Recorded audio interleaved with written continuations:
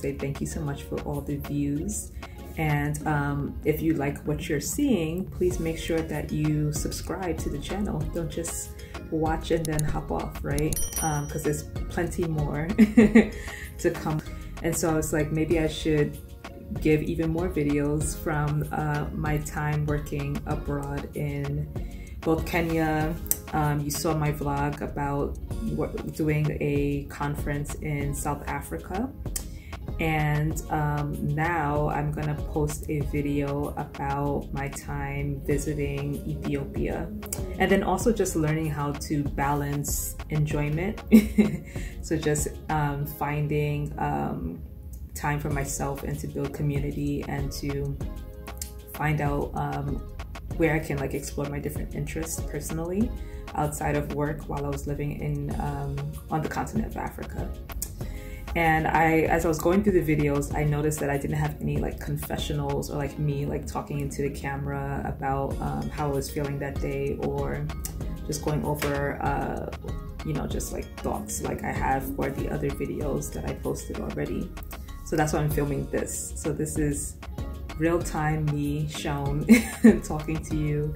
Um, and what I was gonna do, which I thought might be a little bit interesting, is because it's been over a year now since I've been, since I moved, first moved to Kenya. So I thought what might be interesting is for me to go back and do like a real time reaction to me watching myself um, experiencing all of those new different um, environments and um, exploring different um, parts of Africa, stories of Africa that to some extent I knew, but I didn't know the full extent.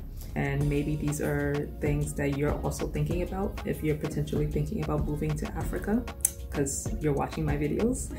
Um, so I want to be able to give you some candid and some um, real-time advice on, you know, how to make your journey um, solid and how to start planning. So what I'm going to do is I'm going to watch the videos that I recorded about my experience in Addis Ababa, Ethiopia, which was a very, very interesting trip. Um, it was only a few days, unfortunately, but I got to do a lot in the few days that I was there. I think, if I'm not mistaken, I was there for three days and it was part work, but it was also part um, visiting my family. So um, I have a um, beloved um, uncle. I call him my uncle. Um, he is he used to work for my grandfather, who, if you read my bio on my website, or if you have followed me on social media, you know that my grandfather was a diplomat for the Nigerian government um, before he retired. And so, um, my, who I call my uncle, um, used to work for him and then gradually became the ambassador to Ethiopia for the Nigerian government as well. So I went to go see him. It was my first time seeing him in a very, very, very long time. So that was nice. Um, got to see him and my aunt, his wife. And so I was visiting them while also just exploring and getting to know um, the country of Ethiopia, which um, if you watched my South Africa video, you know that I was so excited to finally go to South Africa. It was something I said that I've been dreaming about doing for such a long time. Ethiopia was like literally next on the list. So it was South Africa, then was Ethiopia, literally um, on that list um, of countries that I desperately wanted to go see um, during my time in Africa. So I was so excited and privileged to be able to both spend time with my uncle and then also get to explore and learn more about the history of uh, the Ethiopian um, country. So without further ado, I'm going to literally watch in real time with you and react to uh, my videos that I took during my time visiting Ethiopia. That time at, Addis was bush, you know, mm -hmm. when King uh, when he was Menelik was there, mm -hmm. Addis was bush.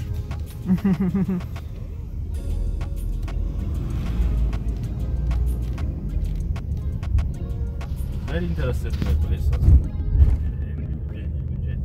Sorry? Very interesting place where we are going now. Yeah.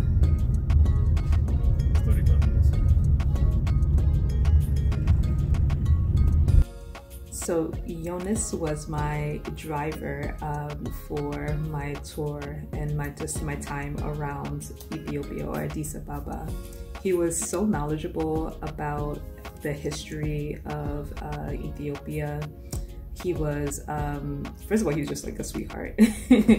um, I, he, I have his phone number, but every time I text him, it's like the number doesn't work for whatever reason. It's really frustrating because um, I would love to continue to stay in touch with him. But um, he was so knowledgeable. He was so funny. Um, it was great spending time with him, and um, he was probably the best uh, tour guide that someone could ask for in terms of like um, getting acquainted with the country. So that's what you're hearing in the background. Just one ceremony, three cups. So that equals to Times one. Nine cup. But if you drink three of these, it's equal to like a mug that we drink in America. Yes, so yes.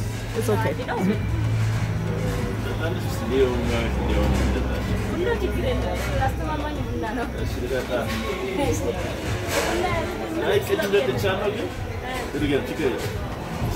Arif Kora tam alışı mesela.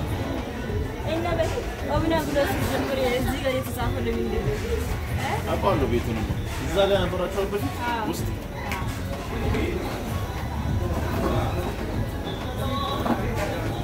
Söz kayıp. Sırası monta kayıp. Okey, sonra ileride ileride böyle.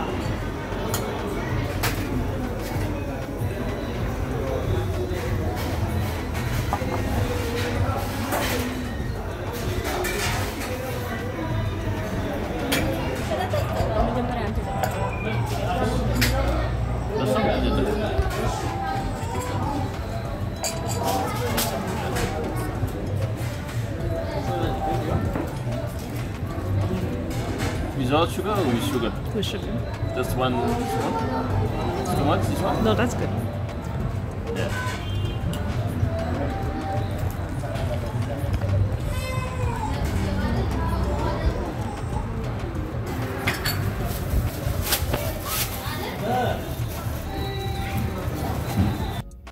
I love coffee. I have tried, especially for this past year, to reduce my intake of coffee because it's not great for anxiety and stress. but I am a connoisseur and a deep appreciative appreciator, if that's a word, of the drink coffee. So when I found out about the coffee ceremony that happens in Ethiopia, I was like, that needs to be something that I do. um, but I was not prepared for how caffeinated their coffee is or how strong it is, and um, what it was, what reaction my body was going to have to it. So long story short, the taste of the coffee was exquisite. It was so smooth, so delectable. I don't even know how to describe it.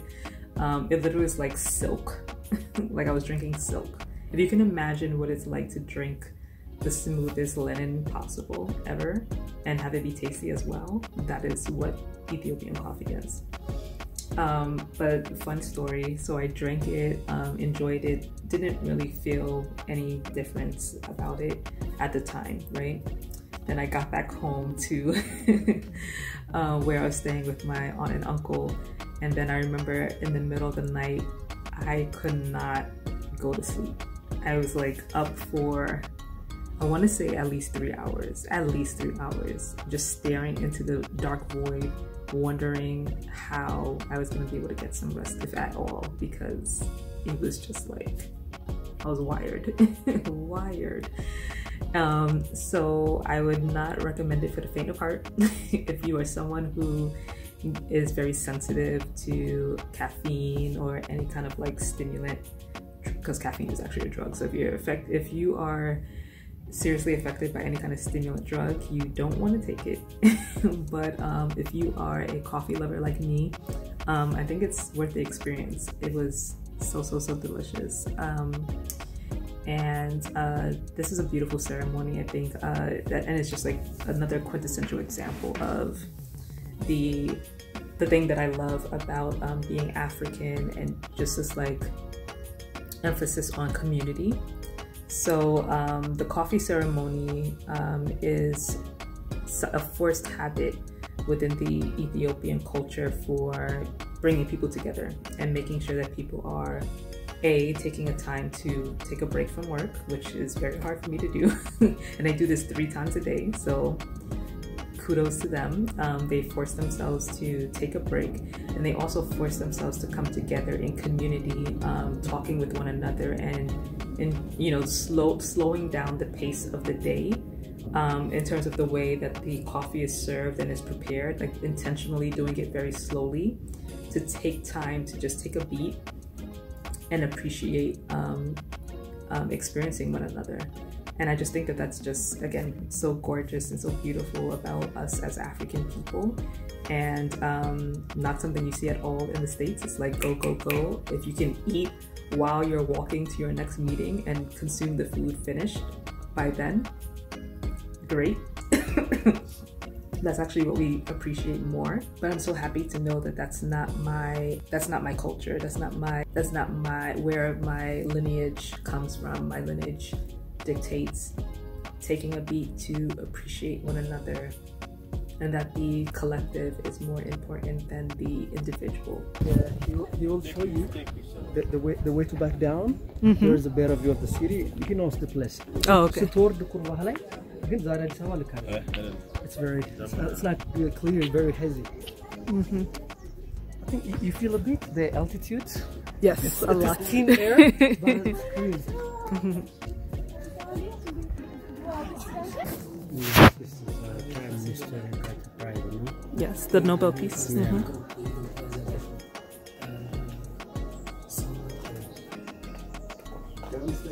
Also our president.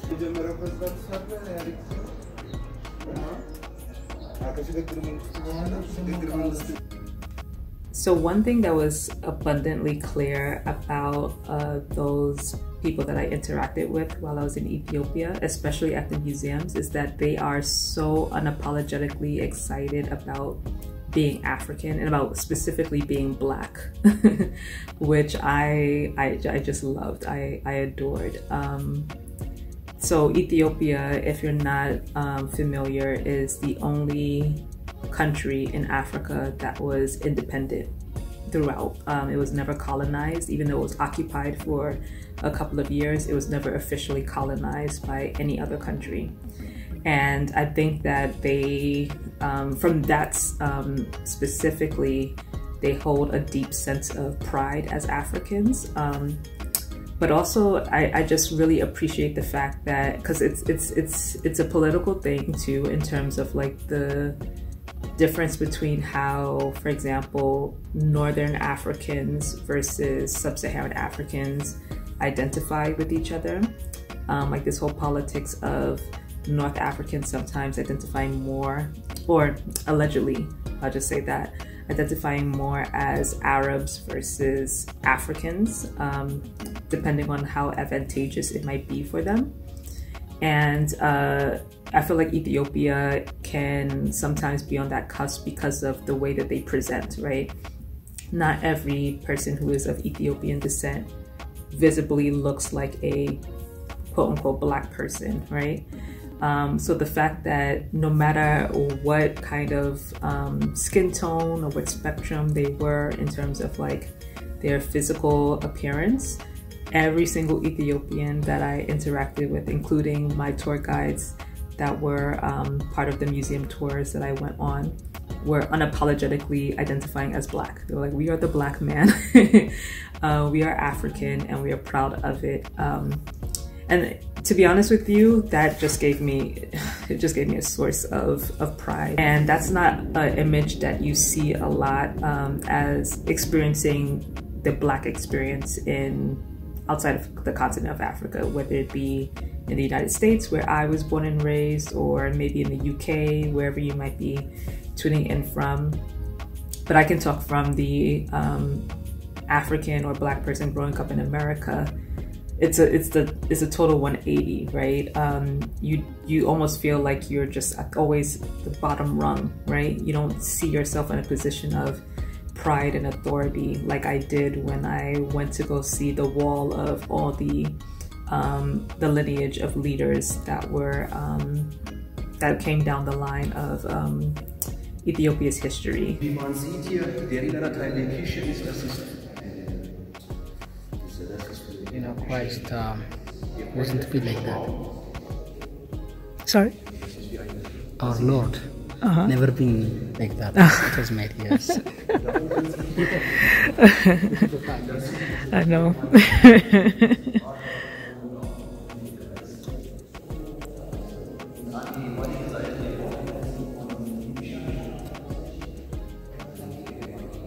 So my favorite part of touring Addis Ababa was seeing all the historical churches. Uh, it's no secret if you follow me on social media that I am a devout Christian.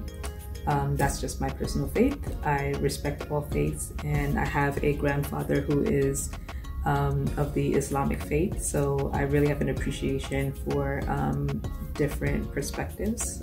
Um, and they, they tell the stories so beautifully in the artwork that is in all the different um, ancient churches that they that they have across the city. Didn't get to see the oldest of the churches, which I, I believe is called Entoto. Um, that's not in Addis Ababa, but um, hopefully when I get to go back to the continent, I'll make sure that's my first place that I'm going to. It's like an underground church is in the um, in the ground, um, and I just I just love and appreciate um, those kind of historic sites. But um, the ones that I did get to see were just as gorgeous, just as beautiful in terms of the stained glass work, the artistry, and, and the paintings that were there. Getting getting to see the um, different relics and also the tombs of Haile Selassie. It was it was my favorite part of my my journey, my three day journey. Although it was very very packed with a lot of things, um, it was very short, but it was packed with a lot of experiences. And my favorite experiences was definitely seeing the historical church sites.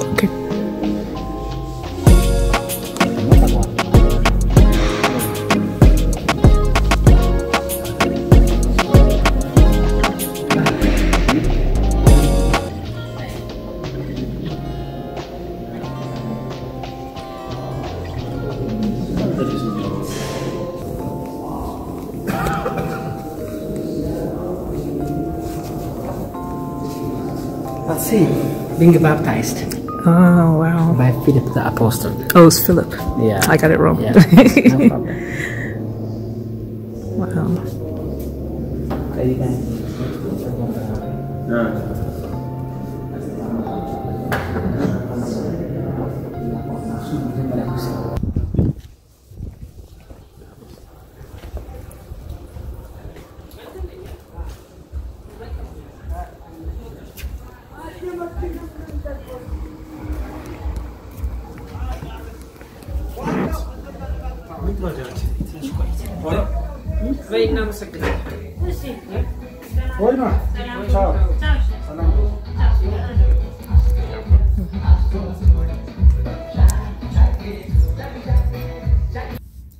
Jonas was really the best. he he was my professional photographer, videographer, and tour guide, everything.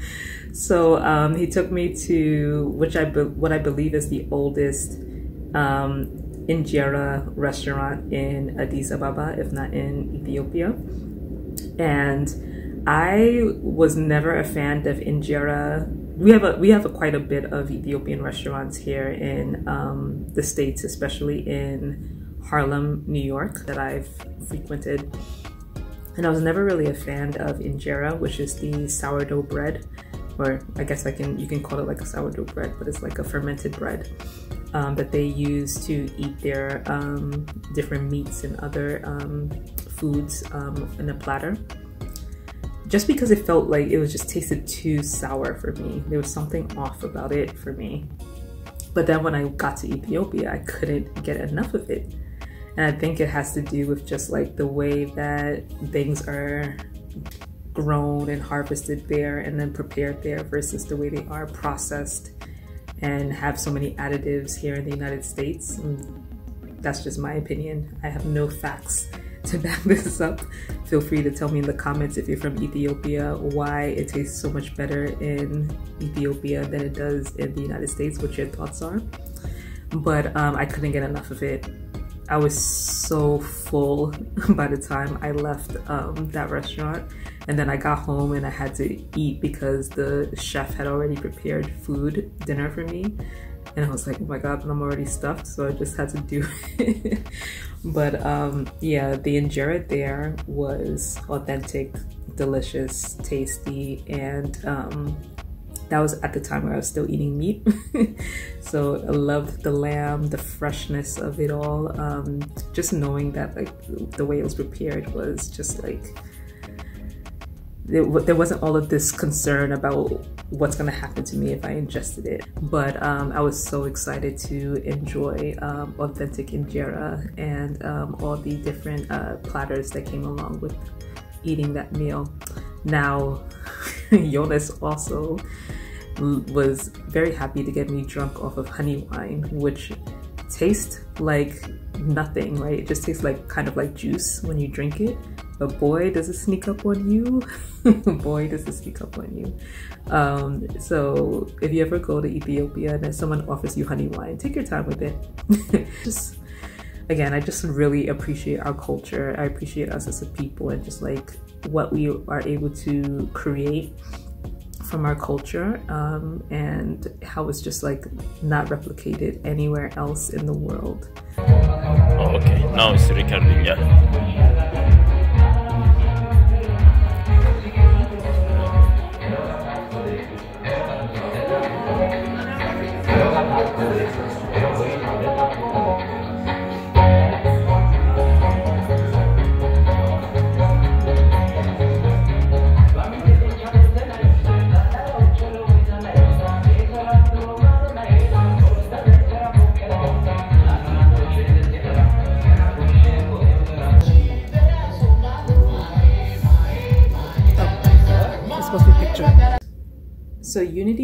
Park, um, visiting that area, it was quite emotional. Um, there were a lot of relics from not just the uh, modern time of Ethiopia, so maybe like from 1900s forward. Um, there was also some um, history behind, um, you know, the legend of the Queen of Sheba um, and King Solomon of Israel potentially mating and creating the Christian lineage from Ethiopia, as well as, or the lineage of, sorry, the lineage of Solomon is what I think it is. I think Solomon is considered to be the child of Queen of Sheba and King David. I'm sorry. Either way, I digress. Um, so they, they talk about the, um, you know, pre-biblical or the biblical times of um, Ethiopian history. But they also do talk about um, the civil war that happened and the Derg regime, which was where um, there was um, ethnic clashes. Uh, again, um, in terms of the war within um, the country of Ethiopia.